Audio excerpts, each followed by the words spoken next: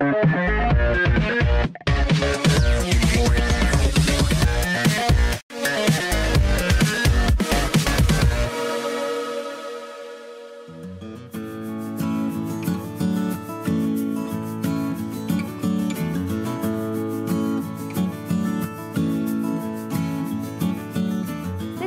Và các bạn. Ngày hôm nay thì trò chuyện cuối tuần sẽ đến với xã Châu Khê thuộc huyện Quang Cuông.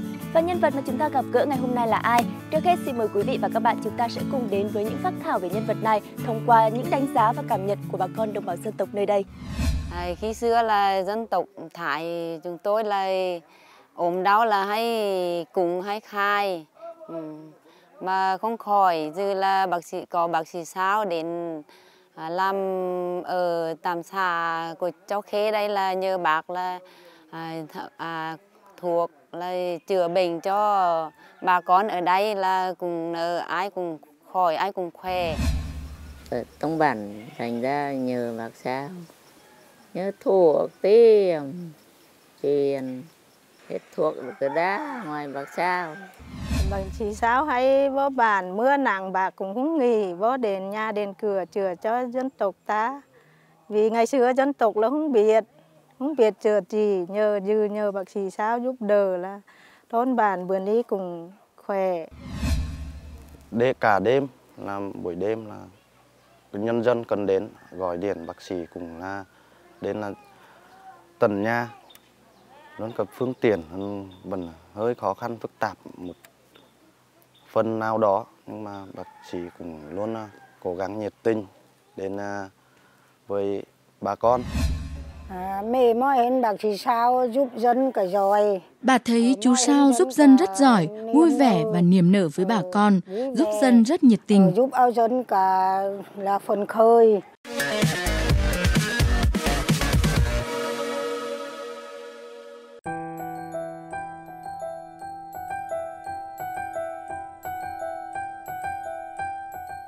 Bác sĩ Lộc Đăng Sao là người dân tộc Thái ở xã Châu Khê, huyện Con Cuông, hiện là trưởng trạm y tế xã Châu Khê.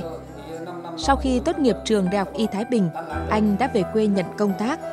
Hơn 20 năm bám bản bằng sự tận tâm, không ngừng học hỏi, bác sĩ Sao đã có chuyên môn vững vàng, là bác sĩ tuyến đầu giỏi về chuẩn đoán lâm sàng, thu dung bệnh nhân từ nhiều xã đến thăm khám. Đặc biệt, anh đã làm thay đổi nhận thức của bà con dân tộc Đan Lai trong chăm sóc sức khỏe, người dân gọi anh là bác sĩ của bản làng.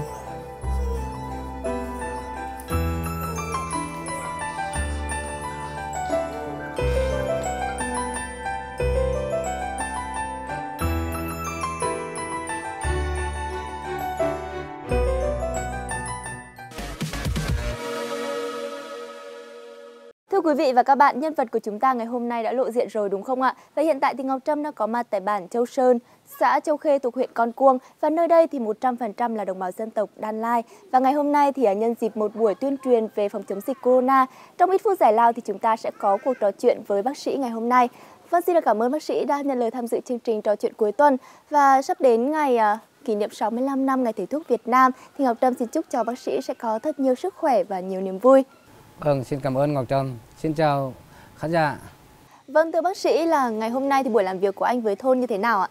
Với công việc tuyên truyền thì anh em cũng đã tổ chức từ lâu rồi và tuyên truyền bằng nhiều hình thức. Một là à, tuyên truyền về trong buổi họp dân, hai nữa là à, về phần à, photo các bài tuyên truyền để loa đài thôn bản phát thanh từng hàng ngày hàng ngày mà tôi nó vốn là tôi biết tiếng cái tiếng của nó lai thì tôi dùng cái tiếng nó lai để cho dân đến dễ nghe và dễ hiểu mà dễ ứng dụng hơn. Bác sĩ có thể chia sẻ một vài kinh nghiệm của mình đối với cái địa bàn. Theo cái phần chuyên môn mà nói thì dân đây không có đủ phương tiện mà mua các cái vật dụng cụ rửa tay rửa bát hoặc là khẩu trang gì cả. Chủ yếu ta là chỉ tuyên truyền bằng hình thức thì, thì cách ly hoặc là à, hạn chế ở đông người. Ý thức được vệ sinh làng xóm này sạch làng để bản nó cũng đang triển khai rất tốt. Tôi có cái duyên từ uh, nhỏ giờ gia đình tôi rất đông nhưng tôi chọn cái nghề này thì mỗi một mình tôi là à, theo nghề khác hầu như chị em thì nghề giáo cả. Qua đó đã có triển khai công việc thì càng ngày thì càng yêu nghề và thương dân nhiều hơn với cái đời sống vùng quê của tụi mình. Vậy thì à, bác sĩ có thể chia sẻ được cái từng bước để mà bác sĩ thực hiện cái công việc cũng như là ước mơ này không ạ? đúng thật sự là từ khi nhỏ giờ thì qua hết, hết cấp ba đó tôi đi học ở trung cấp y sau đó tốt nghiệp thì tôi xin vào y tế thôn bản vùng sâu nhất. Cách ở nhà tôi khoảng là 28 cây khi đó chưa có phương tiện, đường xá đi lại như dự được. Tôi sẽ đi bộ, thậm chí là gói cơm vào, nhưng được cái là được bố mẹ đồng tình cao. Sau đó ổn rồi thì à, cấp trên cũng chiếu cố được vào biên chức nhà nước. Từ đó đến biên chức thì tôi cũng trưởng thành, học hỏi từ cái khó khăn mà trưởng thành đến bây giờ.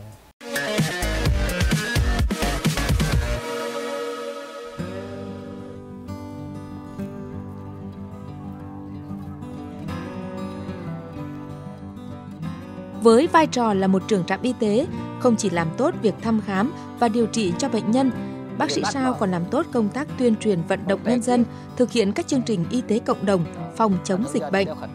Trực tiếp vào bản vận động nhân dân thay đổi tập tục lạc hậu, bám dân, bám bản, gắn chặt các hộ gia đình để kịp thời tư vấn và điều trị. 19 năm công tác tại trạm y tế xã Lạng Khê, bác sĩ Sao đã đóng góp nhiều công sức trong việc duy trì và giữ vững danh hiệu xã đạt chuẩn quốc gia về y tế. Tại đơn vị mới, trạm y tế xã Châu Khê, sau 2 năm bác sĩ về công tác, xã cũng đạt chuẩn quốc gia về y tế giai đoạn 1. Bác sĩ Sao là ân nhân của nhiều bà con dân bản, đặc biệt được bà con Đan Lai xem như người nhà. Kịp thời cứu chữa cho nhiều trường hợp nguy cấp, thăm khám miễn phí cho người già neo đơn. Một hạn chế bỏi nữa, hai viên này và một viên này nữa, chữ nữa, hai loại thôi nữa.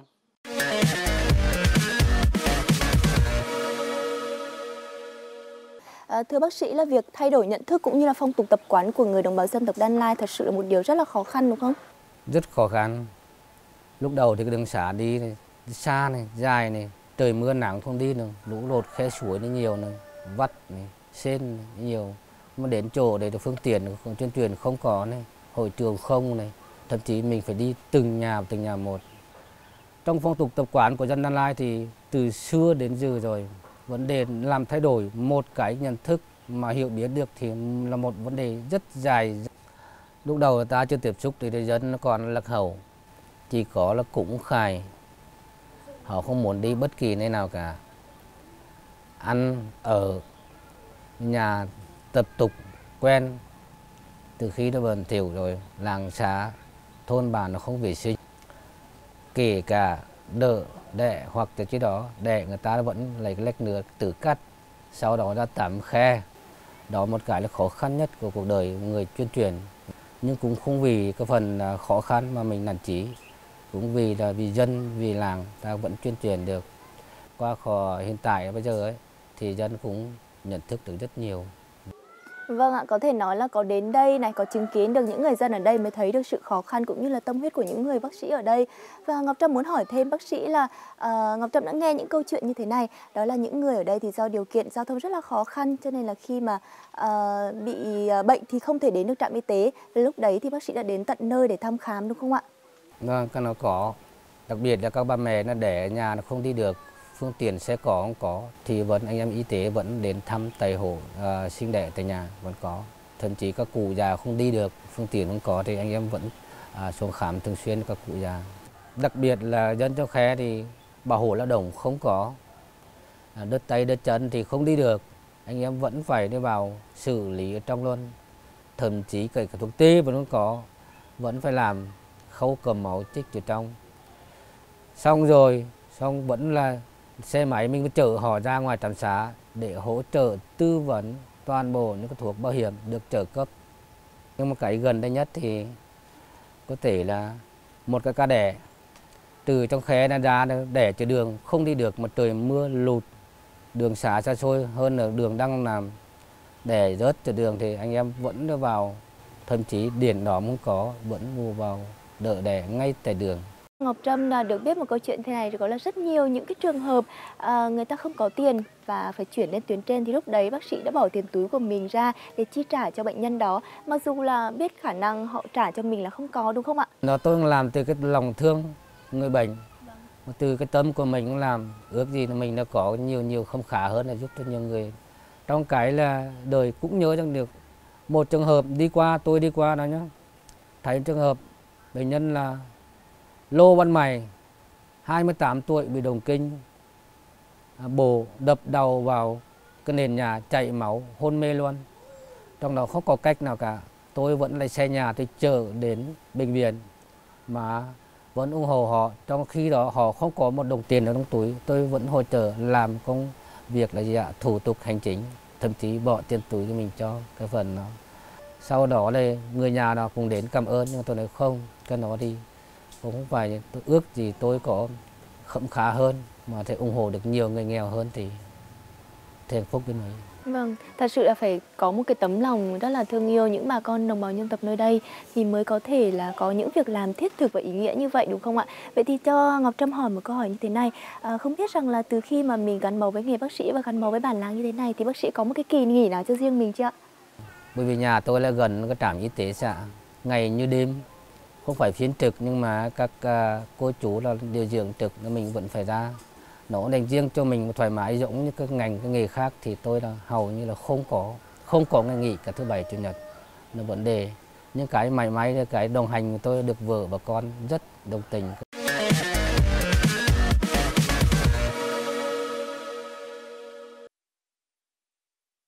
Thực hiện công tác chăm sóc sức khỏe ban đầu, trọng trách của người đứng đầu vừa phải chuyên môn vững, vừa phải có nhiều kinh nghiệm. Bác sĩ Sao đã phát huy kiến thức đã học, đồng thời không ngừng nghiên cứu, học hỏi, nâng cao tay nghề, luôn hướng đến những phương pháp điều trị hiệu quả và đỡ tốn kém nhất cho dân bản.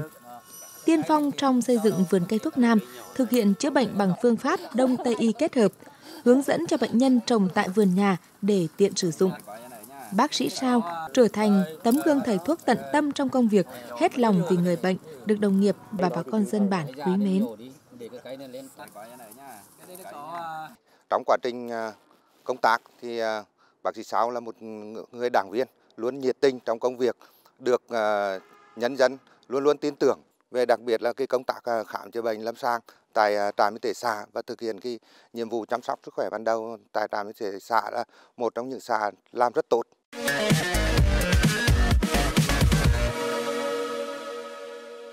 Vâng thưa bác sĩ, anh là một người mà được rất nhiều người đánh giá cao về khả năng chuẩn đoán lâm sàng.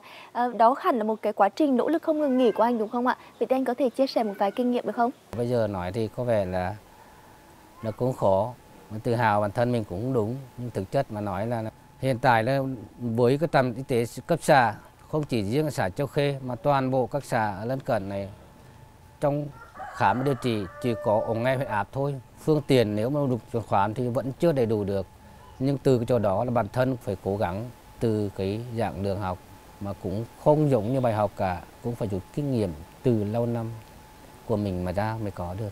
Ghi chép rất nhiều, đặc biệt những cái ca nặng, tôi ghi chép đầy đủ, thậm chí là xem cách điều trị, thậm chí chuyển bệnh nhân đi mà lấy số điện thoại của gia đình. Thỉnh thoảng tôi vẫn xuống bệnh viện thăm dò những cái bệnh nhân này đã có điều trị những trường hợp nào mà chẩn đoán như thế nào để tôi càng ngày càng rút kinh nghiệm về cho bản thân mình. Vậy thì à, có điều gì mà bác sĩ vẫn còn trăn trở hay là vẫn còn muốn làm trong thời gian tới không ạ?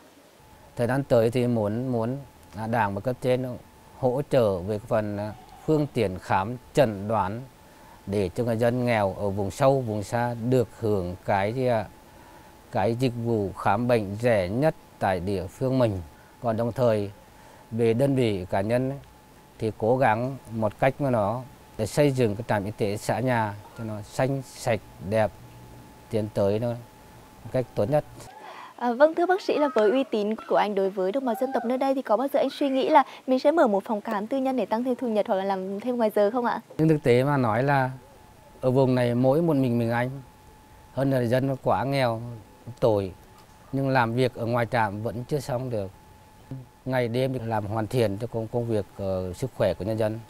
Nếu mà mình mời phòng khám thì cũng biết là cái quyền lợi mà của mình rồi, nhưng tôi ý đó là tôi không có ý đồ mở phòng khám để mà dành cái thời gian cho mình nghiên cứu học hỏi để có chuyên môn tốt nhất để truyền lại cho các em sau này để mà phục vụ con cháu của quê hương mình. Vâng và đó là cái tâm huyết cũng như là cái tâm của mình đối với những người đồng bào dân tộc ở đây đúng không ạ? Vâng, vậy thì có điều gì mà bác sĩ muốn chia sẻ với khán giả NTV nữa không ạ? Chuẩn bị đến ngày thầy thuốc Việt Nam 65 năm thì tôi thay mặt cho đơn vị trạm y tế xã Châu Khê xin chúc tất cả các bạn và đồng nghiệp cùng đồng hành và cố gắng có sức khỏe tốt, cống hiến cho quê hương và vượt qua cái vùng dịch khó khăn corona này này. Xin được cảm ơn bác sĩ đã dành thời gian quý báu cho cuộc trò chuyện ngày hôm nay và xin được chúc cho bác sĩ và những người làm nghề y sẽ có một sức khỏe thật là tốt, nhiều thành công và nhiều may mắn trong cuộc sống.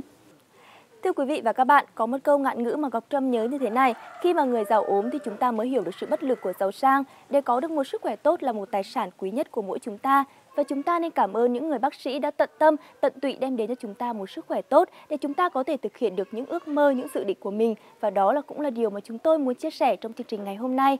Và thời lượng dành cho chương trình trò chuyện cuối tuần đến đây cũng đã kết thúc. Cảm ơn quý vị và các bạn đã theo dõi chương trình. Xin chào và hẹn gặp lại trong những chương trình lần sau.